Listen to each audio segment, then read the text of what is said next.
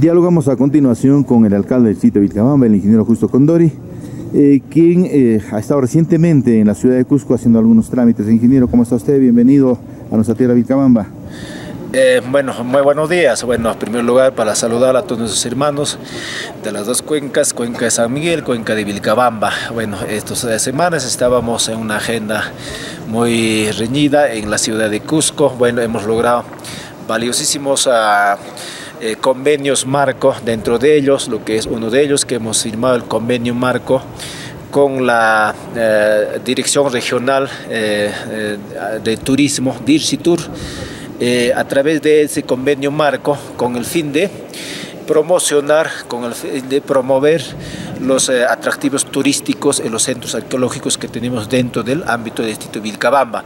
Y asimismo para impulsar el, eh, nuestro plan de desarrollo turístico a nivel distrital y a nivel, eh, bueno, concatenado a nivel regional.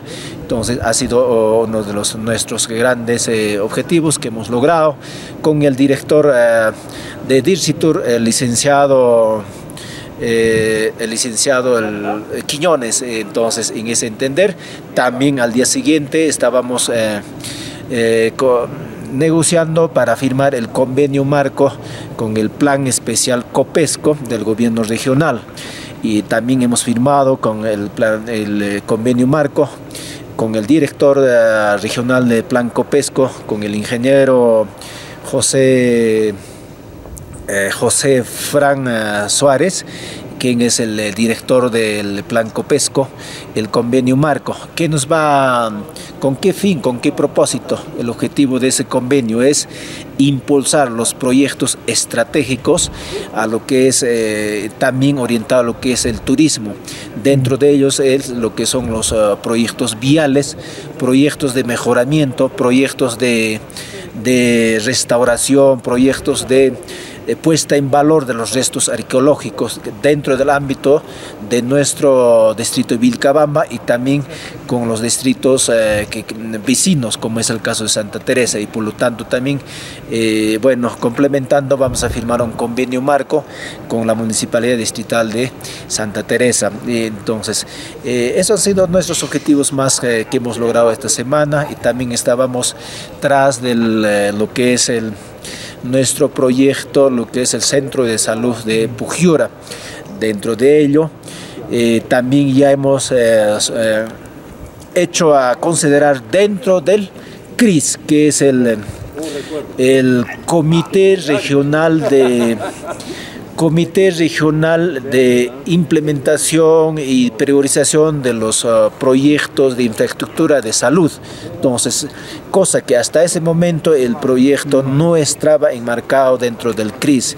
Para que ese proyecto que, que, sea mm, eh, priorizado y que sea financiado a través del Ministerio de Salud tiene que estar priorizado dentro del CRIS. Entonces ahora ya está dentro del CRIS que hemos eh, logrado esta semana. Estábamos eh, dialogando y también con el director regional de, de salud de Direza y hemos llegado a ese acuerdo que el día 16 también hay un, oh, hay un taller de, de lo que es el CRIS también vamos a estar presentes, eh, bueno, impulsando el financiamiento del proyecto del Centro de Salud de Pujiora. Entonces, eso ha sido nuestros grandes eh, trabajos que hemos cumplido estas las últimas semanas. Bueno, estamos muy contentos de haber firmado esos dos convenios y asimismo también en el posterior vamos a firmar el convenio con el UNG Suyana y también hemos avanzado esta semana bueno, esas son nuestras actividades que hemos realizado esta semana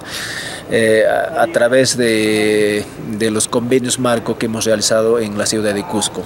Ingeniero Justo, estamos aquí en el Abra Chucuito, camino hacia la zona Chilligua, Arma y también hacia el nuevo distrito de Incahuasi. Estamos aproximadamente a 4.200 metros sobre el nivel del mar, estamos en el Abra.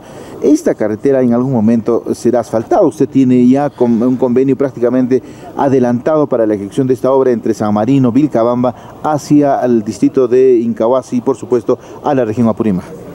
Así es, eh, justamente me quiero referirme al convenio 098 que se ha firmado hace algunas oh, oh, semanas atrás nada más con el eh, a través del Ministerio de Transportes, a través de Provías descentralizado y el gobierno regional a través de su gobernador John Paul Benavente. ¿Con qué fin? Eh, con el fin de, priorizar los cuatro corredores importantes dentro de, la región Cusco, con el proyecto, con el plan pro región.